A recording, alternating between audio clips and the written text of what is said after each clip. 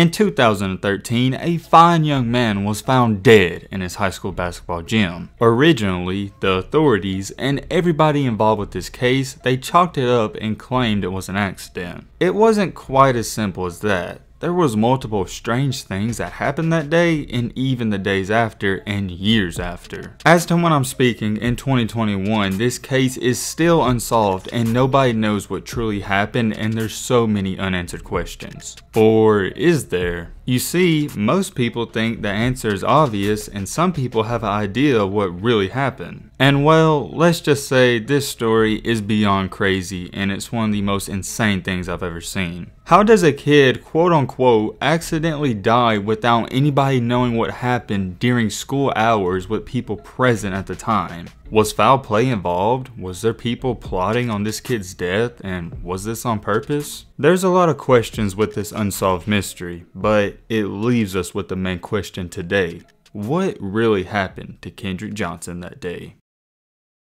What's good y'all? Hope you're having a blessed day. Before we get into this video, I want to give a shout out to the person who sent me this story on Instagram. I also want to throw this in there because when I was doing my research for this story and I researched it for multiple days to get everything right, I couldn't believe what I was reading and it made me cringe and my bones literally tingle. I don't think it's that gruesome, I just think for me, it made me feel a weird way. I think that's the best way to describe it, so viewer discretion is most definitely advised. And as you all know, we do a lot of basketball stories on this channel and a lot of crazy ones, but this has gotta be up there in the top 3. What makes this story so intriguing is that roughly 10 years later, we still don't have some answers. For high school basketball stories and basketball stories in general, this has got to be the number one biggest unsolved mystery of all time. Get you a snack, get you a drink, get you a nice meal because this video, it will not disappoint. I think I've hyped it up enough, but it deserves the hype.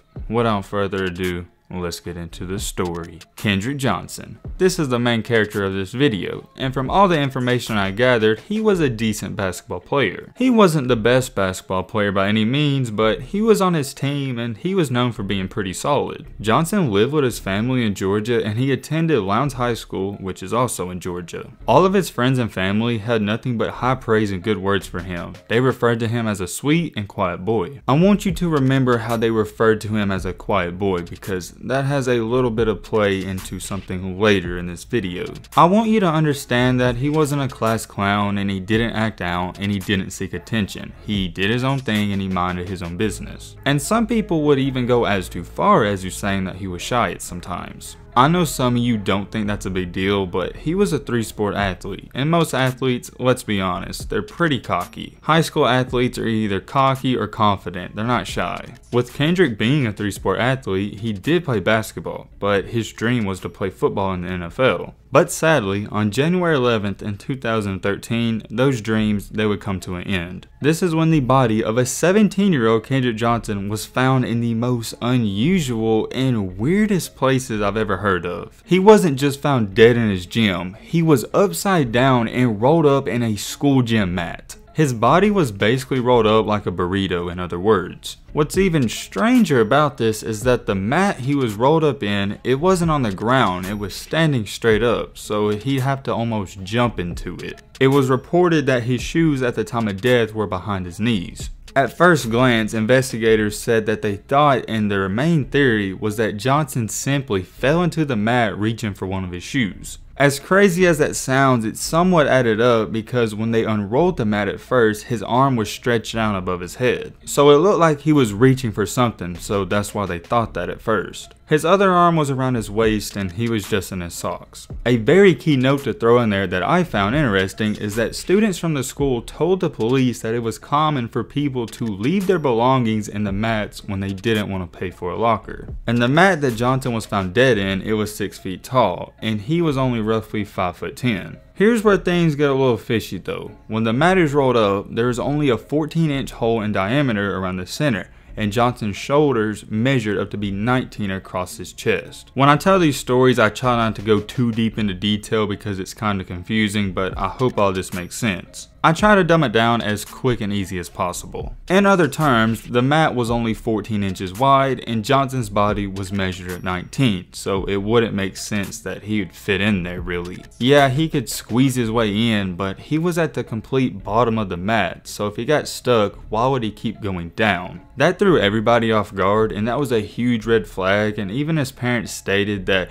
there's no way that was possible. The people that found Johnson before anyone called the police were students, but a full day had passed until he had been discovered. That means that people were going in and out of that gym without noticing him for an entire day. Eventually, there was an autopsy on Johnson, which is where they decide what happened to him, and it was said that he suffocated as a result of being stuck upside down or in an enclosed space and only 24 hours after being found, the investigators ruled his death as an accident. They were claiming that he got stuck in the mat and he couldn't move and blood rushed down to his head and that's how he died. But however, with all that being said, it's not as simple as that and this is where things really start to get fishy. Remember how I told you the only reason he jumped into the mat was to retrieve his lost shoe? Well listen to this. The shoe he was trying to get was on top of blood, which makes sense, but there wasn't any blood on the shoe. That doesn't add up, you see what I'm saying? Because if the blood was dropping down from his head or arm and it was going under the shoe,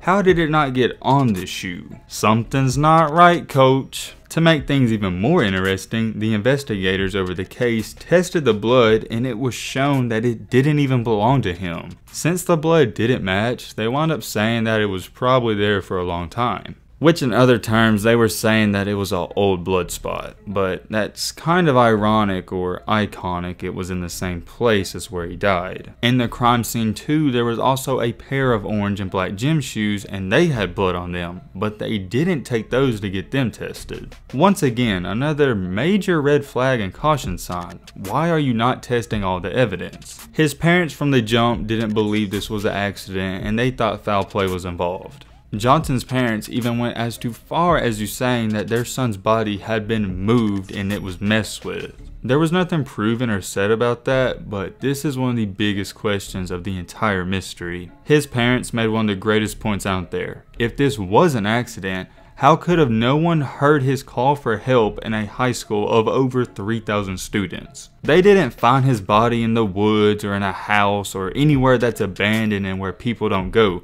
This was in a public place with thousands of kids. And if it was an accident, let's say he jumped in there for a shoe and he couldn't get out. Remember, it doesn't really make sense that he couldn't get out of a mat and he's a three sport athlete if you think about it. But let's give him the benefit of the doubt. Let's say he jumped into the mat and he couldn't get out surely he would be screaming for help. And if he was screaming for that said help, somebody would surely go over to him. Obviously though, he wasn't screaming for help, so that's why everybody thinks there's so much more to this story. His parents would even add more fuel to the fire and they said his case wasn't being taken seriously because of his race. One key note that everybody brings up in this entire discussion is that Kendrick Johnson was a black man and the entire investigator crew were all white. And in 2013, it was said that there was racism involved in Georgia at the time, or at least in the area he was in. To make things even worse, the attorney of the family said that if he was white, the case would have been handled differently. I don't want to speak on that too much, but I did think that was interesting and it was worthy of throwing in the video. As things sort of started to die down, not a lot, but they got a lot less crazier, his family would eventually have the funeral. But after his funeral, things got back up to being crazy. His mom took a picture of their son at the funeral home, and in the photo, Kendrick's face looked extremely swollen and it didn't look quote unquote human. It was said that the public and all of social media was horrified by the photo and they wanted more about the truth. If you didn't think this story could get even more unreal, you're in for a ride. Shortly after the funeral, on May 8th in 2013, a judge granted Kendrick Johnson's body to be exhumed. I'm not going to lie, I didn't know what that meant, but I looked it up and it means they are going to, and they did, dig up his body. The reason they were going to dig up his body was to have another private person to do a second autopsy. And this time, the new autopsy revealed more answers. It was reported that he suffered damage to the right side of his neck, which meant that he likely died from blunt force trauma, which in other terms mean he forcefully got hit. And when it was all said and done for the autopsy, they concluded his death was not an accident. Hold on though, it got even weirder because the new autopsy revealed that some of his organs were missing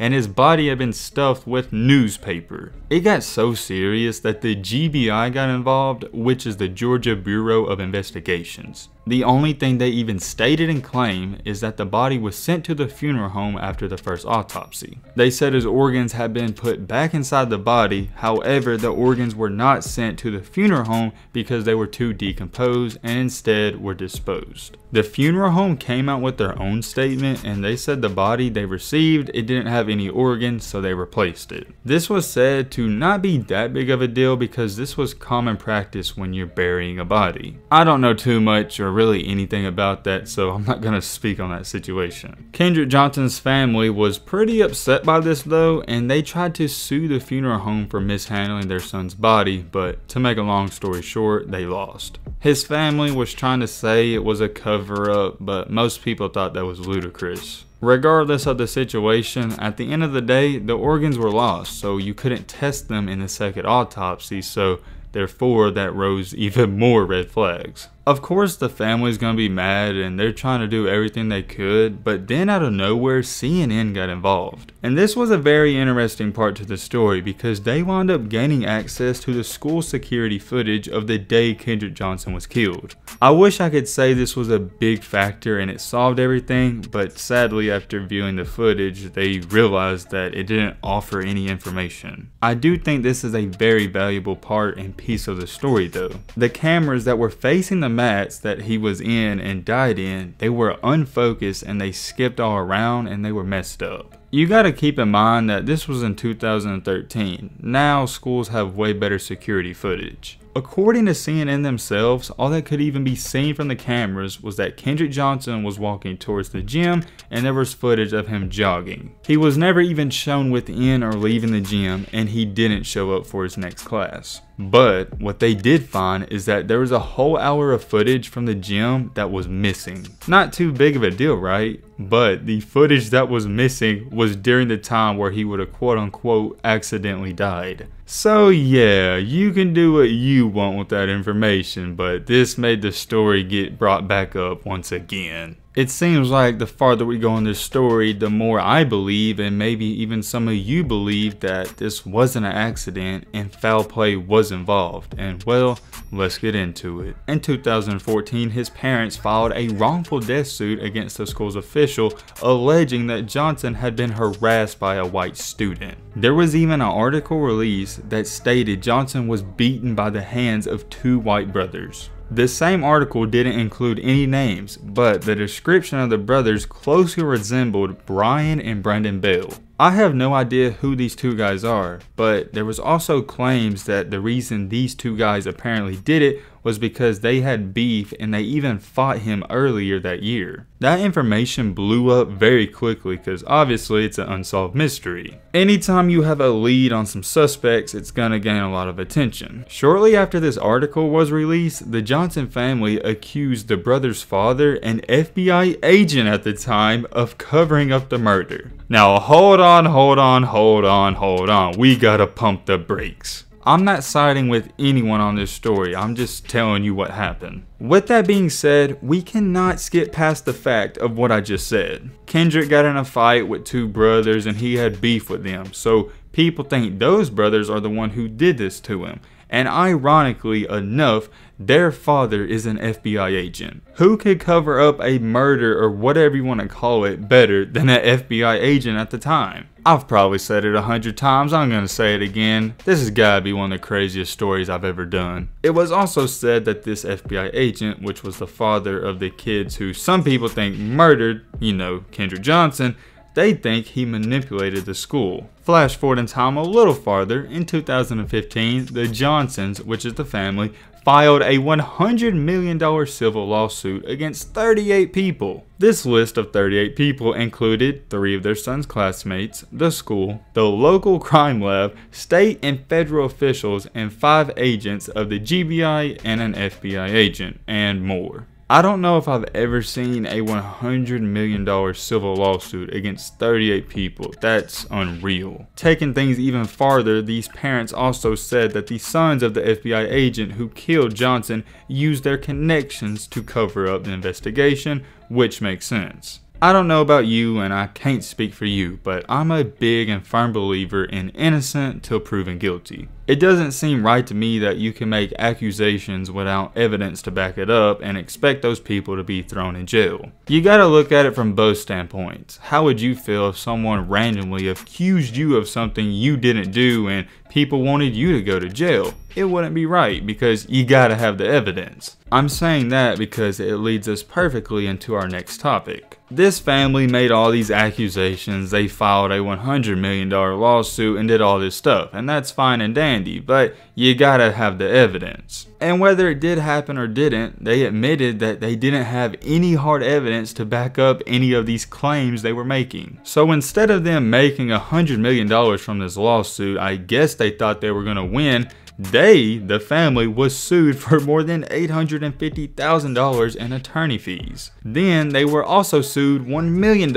in defamation charges. And ultimately, to sum this all up, the judge asked them to pay 300,000 more dollars of lawyer fees to close everything. Yeah, I think we can all agree that backfired on them, and I sort of feel bad, but you can't make claims like that. Whether they are in the right or wrong, think about it guys. They were planning on suing 38 people. Anyways, let's move it on because this has been a long video and we still have a little bit more to go. Flash forward in time to June of 2016, more information was released. The Department of Justice announced that no charges would be filed against anyone in relation to Kendrick Johnson's death considering there was insignificant evidence to support federal criminal charges. And last but not least, as far as the feds were concerned, the case was officially and finally closed. But, according to an article, the Johnson's parents would still not give up. Hey, wait a second. You right there, you thought you was about to click off this video cause it's over? It's never over. We still got more to go. In June of 2018, Kendrick Johnson's body was exhumed, which means they dug it back up for a second time and a third autopsy was performed. I know some people, or maybe many people, are big on being respectful to the dead. Imagine somebody digging up one of your family members' bodies two times. Not once, but twice sorta disrespectful. Maybe that's just me. You know, the first time it made sense because they were gonna find out some answers, but the second time, I don't know. But more information did come out of this and they found in the second autopsy that his death was not an accident once again, but they already knew that. It was said that this quote unquote blunt force trauma was likely due to being quote unquote struck in the neck with a 45 pound dumbbell which does add up and make sense because you do have workout equipment at a high school. The parents were hoping out of the third autopsy this would be enough to convince the justice system to reopen the case. People were also stating that they should reopen the case because remember, they lost surveillance footage that was valuable to the case. And guess what? Three years later, it appeared that their answers led to what they wanted. In March of 2021, which is the current year, authorities reopened their investigation and it's currently ongoing. According to a Lowndes County Sheriff, here's what he said. If there's questions and they're legitimate, I need to know the answers myself. The only way I'm going to know is to look at the evidence myself. According to the sheriff himself, it's been reported that they've seen a ton of new evidence that they think is valuable. They also believe they have enough evidence to solve this mystery once for all and maybe put somebody behind bars. The only downside to this is that they think the investigation is going to take up to six months, but they're optimistic it will be served. Or not, it will be served, but justice will be served. Here's what Kendrick Johnson's mother had to say. It's been eight long years. I'm feeling hopeful. And that is the up to date on one of the biggest unsolved basketball mysteries ever. It's really surreal to think about that it's been almost 10 years and we don't have a legit answer, but I do feel like we're getting close. And I know some of you in the comment section, you're gonna have an idea of what you think happened, so I'm curious. Drop your comments down below. I know a lot of you are curious about what I think about all this, and I try to be careful when I tell these stories because I don't want to take any person's side. I do like to give my opinion here and there, and I'll leave you with this. I don't think it was an accident, and that's all I'm gonna say. As to what really happened, I can't make an opinion and statement without knowing enough information, and I feel like we still don't know enough. Do we have leads and ideas of what maybe we think happened? Yes, but we can't go off of a maybe. You can't do that, it's not right. Well, I'm not gonna do it. I know you guys will. This has been one of the longest videos I've ever done on my channel. It took a lot of research and a lot of days to make, so I hope you guys enjoyed. And if you're new to the channel and you like stuff like this, hit that subscribe button and leave a like for more. Let me know what you think about this in the comment section. But with all that being said, that's going to wrap up this video. Hope you boys and girls enjoyed. Hope you learned something. If you're new to the channel, what are you doing? I appreciate if you hit that subscribe button. If not, that's cool. But hey, man, as always, let's be great. I'm out, y'all. Peace.